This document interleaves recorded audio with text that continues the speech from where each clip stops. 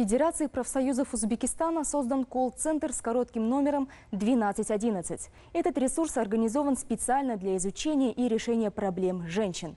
По горячей линии идут тысячи обращений. Наргиз Шаисламова о том, что более всего беспокоит жительниц страны.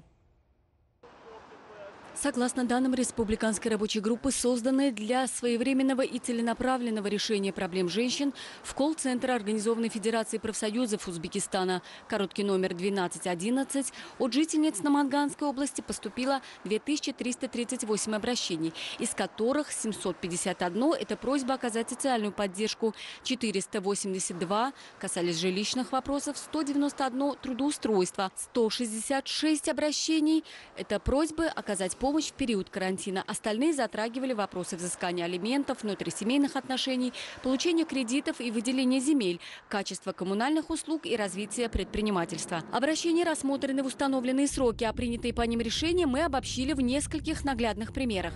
Матлюба Мамаджонова, жительница Туракурганского района, овдовела 4 года назад и осталась одна с двумя детьми на руках. В своем обращении она отметила острую нужду в жилплощади, поскольку живет на иждивении родителей. Ее проблема была изучена изучена и решена. Ей выделили двухкомнатную квартиру в новостройке, возводимой в Махале, Узбекистан. Я позвонила на телефон доверия 1211 и попросила помочь мне оплатить первоначальный взнос за жилье. Они удовлетворили мое обращение. Считаю, что мои муки в прошлом. Теперь мой ребенок будет жить вместе со мной, рядом. Он так мечтал иметь свой дом.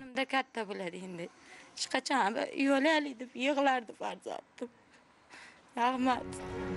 Йорканой Карабоева арендует жилье по адресу Усть-Курганский район, Махалля Фергана, улица Шадлик. Исходя из своей ситуации, она обратилась с просьбой оказать ей материальную помощь.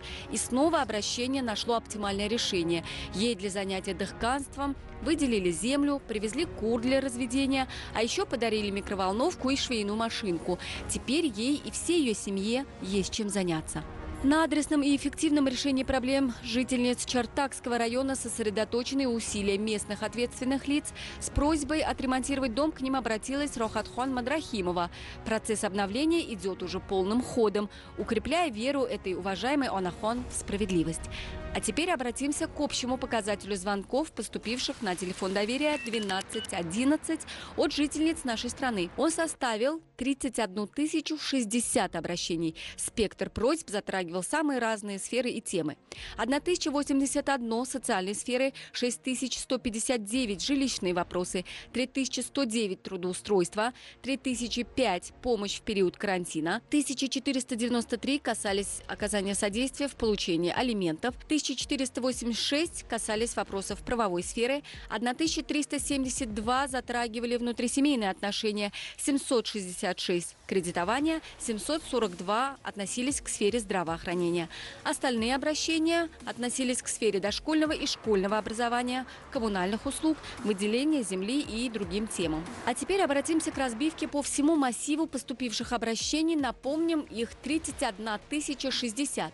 Итак, почти 71 процент решен в рамках закона, 11,4% решаются с соблюдением сроков, чуть более 8% – это долгосрочные обращения, взятые на контроль, по 4,7% обращений срок исполнения продлен, чуть свыше 5% – это показатель нерешенных или обращений с нарушением сроков исполнения. Наряду с положительными фактами, проанализированными в нашем репортаже, рассмотрим деятельность АО «Худут Гастама НОТ» с критическо-аналитического ракурса.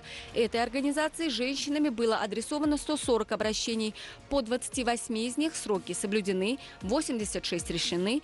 По двум обращениям сроки продлены, 24 либо не решены, либо просрочены. Халатное, безразличное к проблемам женщин отношение некоторых чиновников невозможно, да и не стоит оправдывать.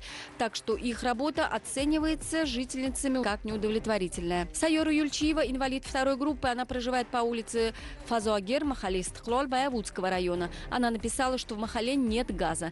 И с этим почти все смирились. Но и газовые баллоны не привозят вовремя. Эта проблема всех нас замучила, отметила Сайора. Похоже, что сотрудники Боевуд Тумангаза просто забыли о нашем существовании. Фируза Хуайб-Назарова, проживающая в Махале Фархот в Хавасском районе, тоже обратилась по номеру 1211 с жалобой на сотрудников райгаза. Для жителей вопрос обеспечения голубым топливом один из насущных. О других проблемах уже можно и не говорить. Жители отмечают, они никогда не видели местного хакима, даже не знают, кто он. Другие ответственные лица, наверное, тоже ленятся изучать нужды неблизкого адреса.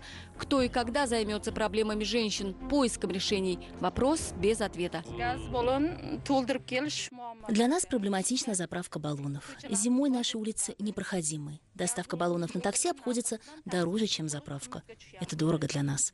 Машины не заезжают к нам. И таких примеров беспечности в районах немало. Видно невооруженным глазом. Руководство Худудгастама, но сотрудники подразделений не уделяют должного внимания решению проблем на местах. Мы попытались встретиться с газовщиками, хотели поговорить, прояснить ситуацию, но, к сожалению, никого не смогли найти. Что касается в целом ведомств и органов исполнительной власти на местах, работа которых вызывает нарекания, нерешенными остаются обращения. К Министерству здравоохранения Хаджибаев 45%, КАО Худудгастам НОТ Эшмурадов 17%, ККБ Агробанк Маматкулов 14%, 13% обращений в Министерство занятости и трудовых отношений Хусанов также не решены. Хокимиату Сурхандаринской области Боболов адресовано 35% обращений. Хокимиату Новоийской области Турсунов 25%, Хокимиат Бухарской области Камал Ямалов 12% и Хокимиату Харизмской области Эрманову 10%. Республиканской рабочей группой принимается комплекс мер для оперативного решения проблем, обозначенных в обращениях. А мы напомним, работа по детальному изучению проблем женщин будет бесперебойной и постоянной.